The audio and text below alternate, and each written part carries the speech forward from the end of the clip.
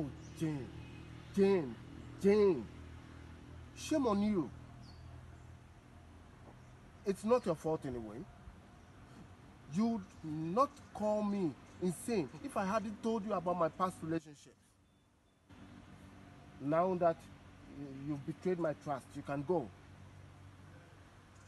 I won't plead, plead for your merciful humiliations. Not anymore.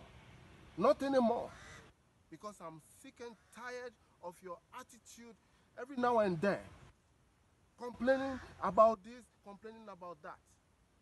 My relationships in the past are in the past. I was focused on you. Since you are not prepared to make it work, just have your way. Just go. Go and let me be. You understand? Just go and let me be.